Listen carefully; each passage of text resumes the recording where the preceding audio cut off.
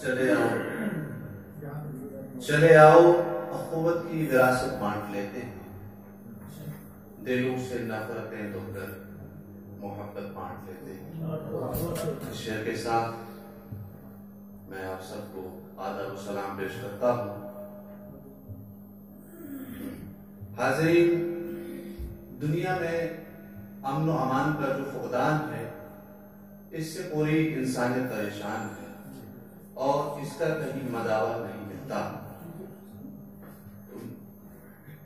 راکب نے کوشش کی ہے کہ سادی، شیخ سادی علیہ الرحمہ کے اخلاقی اشعار و اقوال سے ہم ان کا پیغام اخذ کریں۔ تو سامعین، شیخ سادی فرماتے ہیں، بنی آدم آزای یک دیگرن بنی آدم آزای یک دیگرن که در آفرینش ز یک جوهرن. چو عزوی بدر آورد، چو عزوی بدر آورد روزگار. دیگر از پارا نماند قرار. تو کس مهنت دیگران بیگمی نشاید انامت نهند آدمی خلاصہ اشار ہے بنی آدم جو ہیں، تمام ایک ہی جوہر سے پیدا کیے گئے ہیں اور وہ ایک ہی جسم کے حصے ہیں۔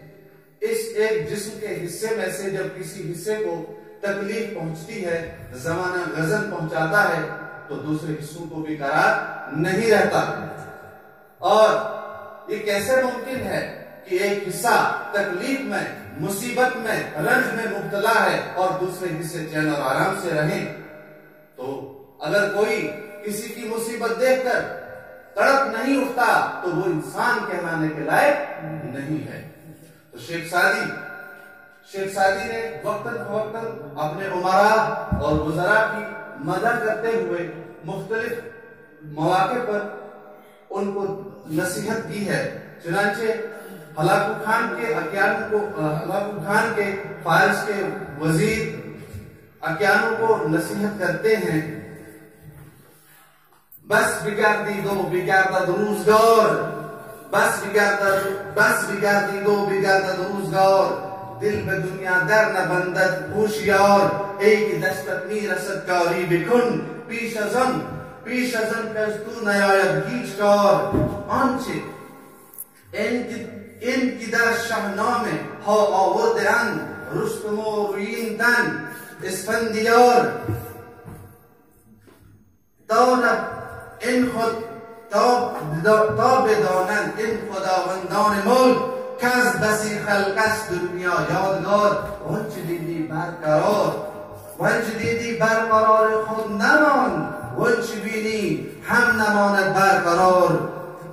دی دیر و زود این شکل و شخص نازنین خواب خواهد گشتن و خوابش دوبار اس کو نصیحت کرتے ہوئے کہتے ہیں یہ جو زندگی ہے یہ چند روزہ ہے اور جو شہناموں کے اندر گزرے ہوئے بڑے بڑے جسد والے، بڑے بڑے قامت والے لوگ تھے، اب ان کا دنیا میں ذکر کے سوا ان کے نام کے سوا باقی نہیں رہا ہے۔ اور اور یہ یہ تلقین کرتے ہیں کہ تم دنیا میں اس وقت اقتدار، اہل اقتدار ہو اور اس اقتدار اس اقتدار کے حاصل ہوتے ہوئے تم میں سے تم سے جو ہو سکے، جتنا ہو سکے کسی انسان کا بھلا کرو۔ اس سے پہلے کہ تم اس کے قابل نہ رہو۔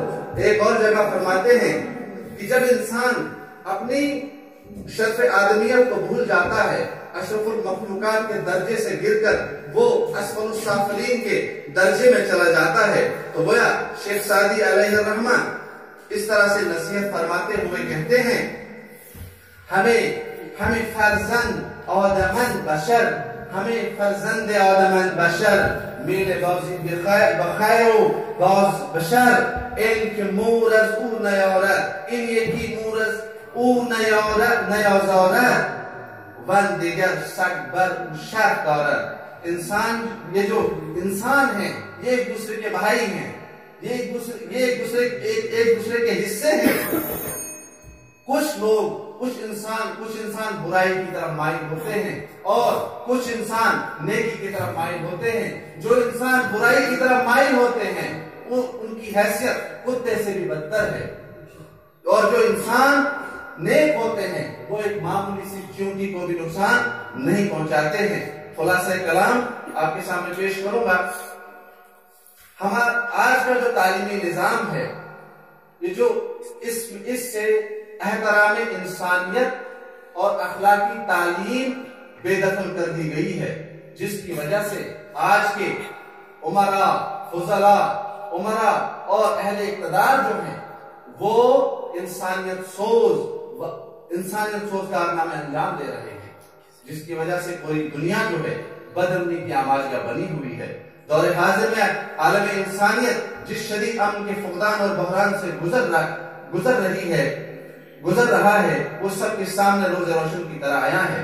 مربی اخلاق اور شاعر جہاں دیدہ کے مذکورہ بالا بیش بہا اقوال و اشعار کی روشنی میں یہ بات معلوم ہوئی کہ غلام سے لے کر آقا تک کی اخلاقی تربیت دنیا میں امن امن کی بحالی کے لیے ایک شخ کلید ہے، جس سے امن و امان اس سے امن و امان عالم کے راز تک رسائی آسانی آسان ہو جاتی ہے۔ مجھے یقین ہے کہ جس قوم کے اخلاق بلند ہوں، اس قوم کا غلام، اس قوم کا غلام سے آقا تک کوئی بھی انسان کسی اپنے غیر یا اپنے اپنے، اپ، کسی بھی اپنے یا غیر پر سر منہ کے برابر بھی ظلم و زیادتی نہیں کرے گا۔ یعنی انہی الفاظ کے ساتھ میں آپ سے رخصت چاہوں گا، مطالعہ لمبا ہے، تو میں نے اختصار سے ہی کام لیا، سننے کے لیے آپ کا بہت بہت